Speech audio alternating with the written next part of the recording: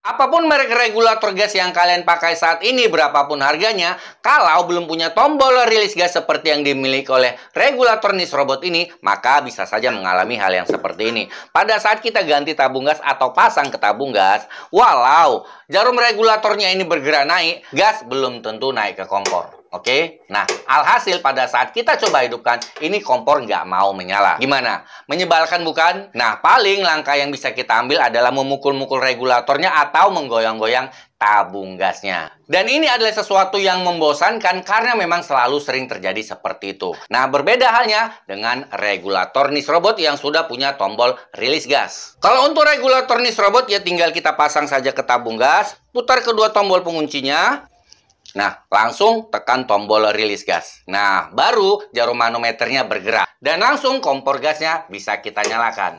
Nah, gimana? Keren kan? Tidak merepotkan.